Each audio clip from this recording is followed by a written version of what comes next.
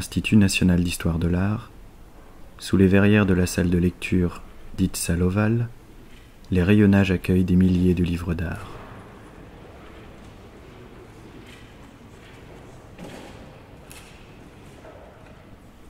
Mais c'est quelques étages en dessous que l'on conserve précieusement la correspondance des siècles passés.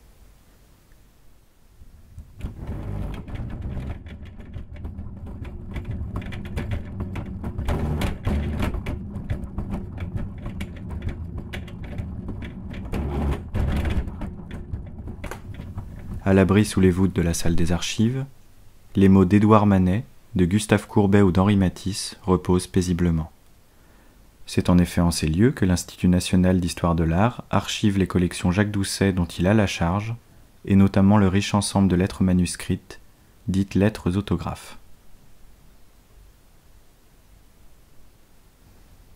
Mes chers parents, je vous fais part de deux mots par Adolphe Marlet, d'abord pour vous parler du prix que vous avez envie de mettre à une redingote, car je suis bien bas sur cet article-là. Ce serait pour les dimanches, une redingote un peu propre, car elle pourrait me servir plus tard.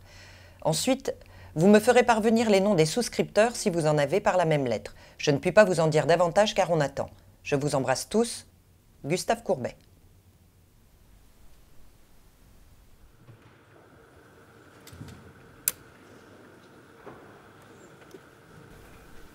Jacques Doucet fut un grand couturier, habilleur des célébrités de son temps, comme Sarah Bernard.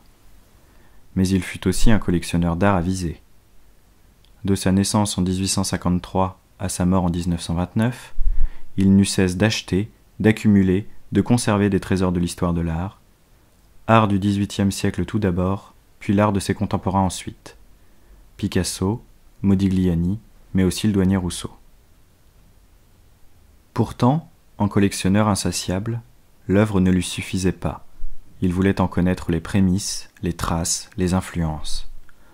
Au point d'accumuler une des premières bibliothèques d'art et d'archéologie vouées à la documentation de ses œuvres.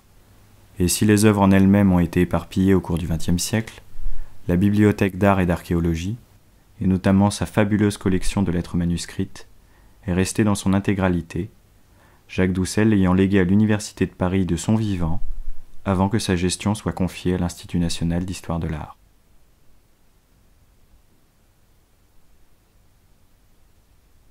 Monsieur de Forges, j'ai reçu le petit chien en bon état. Il est charmant et très gai. Les autres animaux de la basse-cour ont déjà fraternisé avec lui et le singe l'a pris en affection. J'espère qu'avec les soins et une bonne nourriture, nous en ferons une bête solide et un bon chien de chasse. Je vous remercie de nouveau de ce joli cadeau dont je vous suis bien reconnaissant. Recevez, monsieur, l'assurance de ma haute considération et veuillez, je vous prie, présenter mes respects à madame de Forges. J'espère avoir le plaisir de vous voir à Vesoul lors du mois de septembre. Jean-Léon Jérôme, peintre.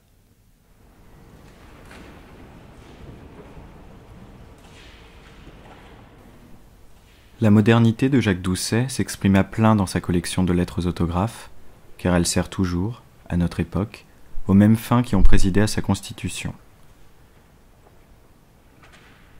Grâce aux nombreux artistes renommés dont la correspondance est rendue disponible, elle est, pour les chercheurs en histoire de l'art, une source d'information fondamentale pour retracer leur itinéraire, les tenants et aboutissants de leur activité de création et leur place au sein de leur époque.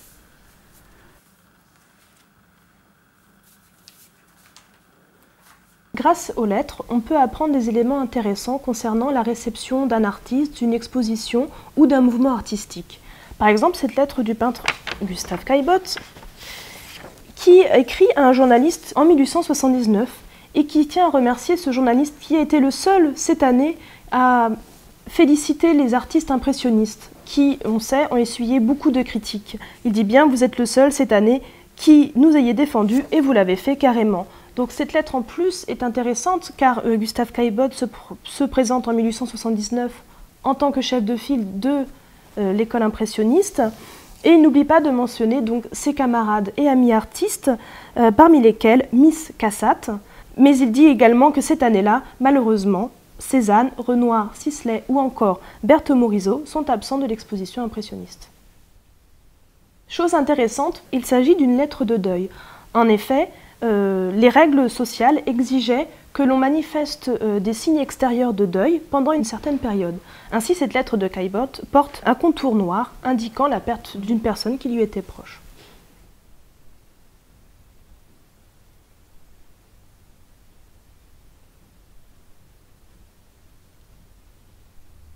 Monsieur, je m'efforce de me rendre utile aux prisonniers civils de mon pays, 400 emmenés en captivité en Allemagne à Havelberg, où ils meurent de faim, rien ne pouvant leur parvenir de leur malheureuse ville envahie.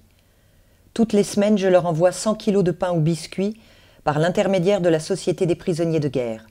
Cinq envois sont déjà partis. Et pour pouvoir les continuer, je vends à leur profit exclusif des gravures, monotypes ou eau forte. Connaissant votre cœur, ainsi que l'intérêt que vous avez bien voulu déjà prendre à mon travail, je me permettrai de vous envoyer, si vous le voulez bien, un carton de gravures nouvelles qui pour le moins vous intéresseront, les monotypes étant tout à fait nouveaux. Dans l'espoir, monsieur, que vous voudrez bien contribuer à ma modeste œuvre que j'ai tant à cœur, je vous prie de croire à l'assurance de nos sentiments les plus reconnaissants. Henri Matisse, à Jacques Doucet, 7 juin 1915.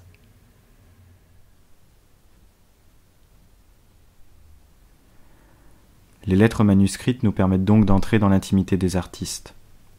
Les problèmes de santé d'Henri de Toulouse-Lautrec, l'orthographe approximative de Jean-Auguste Dominique Ingres, tout cela nous est rendu accessible.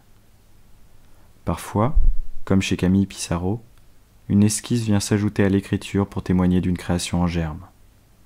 C'est pour cela, et pour bien d'autres raisons encore, que la collection de lettres autographes de Jacques Doucet est précieuse et universelle. Mon cher ami, certains journalistes allemands poussent la calomnie jusqu'à imprimer que j'ai composé plusieurs chants contre l'Allemagne. Les injures les plus misérables accompagnent ces assertions. J'ai en Allemagne une famille et des amis qui me sont chers. C'est pour eux que je viens vous prier d'imprimer ceci. Depuis l'âge de 14 ans, je suis en France. J'ai reçu des lettres de grande naturalisation. J'ai été nommé chevalier de la Légion d'honneur. Je dois tout à la France, et je ne me croirais pas digne du titre de français que j'ai obtenu par mon travail et mon honorabilité si je me rendais coupable d'une lâcheté envers ma première patrie. Jacques Offenbach, 16 août 1870.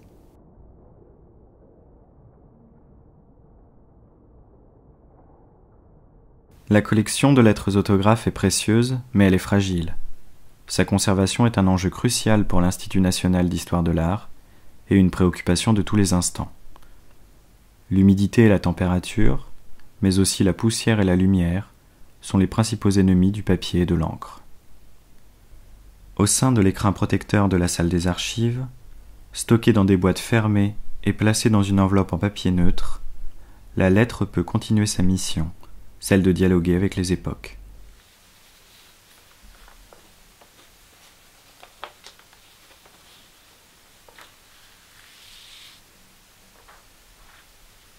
La qualité du papier elle-même conditionne sa durée de vie. Et si les artistes avaient eu conscience de l'intérêt que l'on porterait à leur correspondance, ils auraient peut-être choisi leur support avec plus d'attention. Car entre le robuste papier chiffon du XVIIIe siècle et le fragile papier en fibre de bois du XIXe, c'est une contre-histoire qui s'opère, l'ancien réagissant parfois mieux que le nouveau aux effets du temps.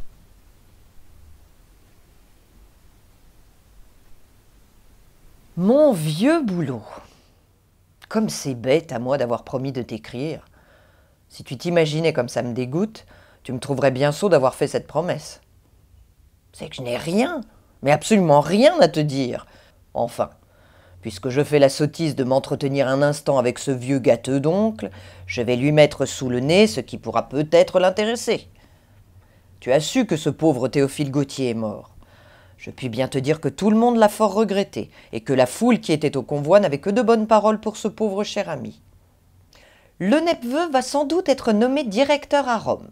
Ce petit cancan peut occuper dix lignes. Donc, Personne ne voulait de cette fonction, sauf Messonnier, dont en revanche personne ne voulait. Enfin, le neveu, outré de la lâcheté de l'Académie, s'est laissé tenter et il paraît devoir réussir. Depuis ce temps, il s'agite, il fait des projets et il va bien embêter les pensionnaires s'il les met tous à exécution. Le principal, c'est qu'il aura une chambre d'amis et que j'espère aller encore reloger à la villa. En voilà assez, le déjeuner s'approche et il doit te suffire de savoir que tout va bien ici. Nous espérons qu'il en est de même dans votre caravane. Un petit mot tout court de toi nous fixera à ce sujet. Louis, Arthur, Nino et moi t'embrassons très fort, et voilà. Ton respectueux neveu, Carlo. Charles Garnier, architecte, à Gustave Boulanger, peintre.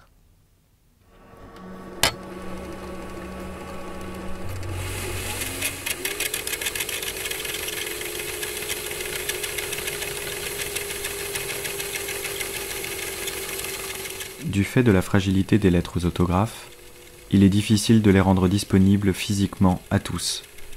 Les manipuler, c'est se les approprier, mais c'est surtout les abîmer.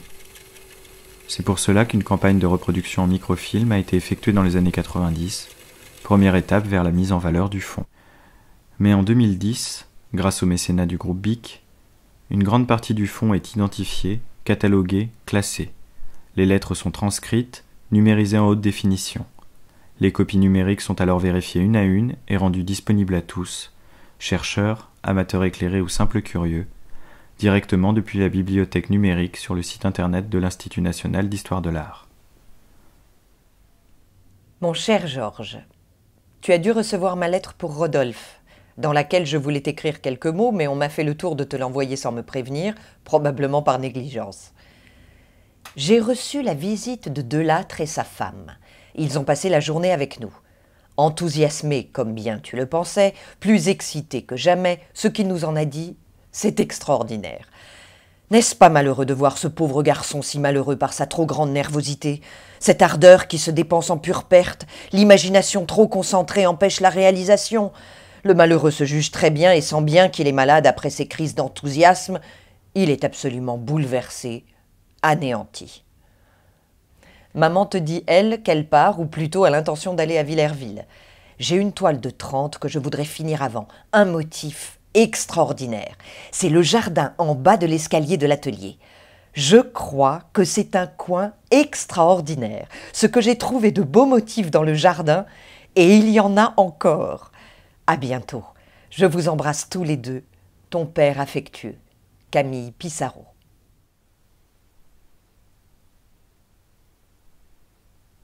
Chacun peut désormais faire son trajet parmi ces lettres, et elles peuvent ainsi, des siècles après leur rédaction, continuer leur mission de correspondance.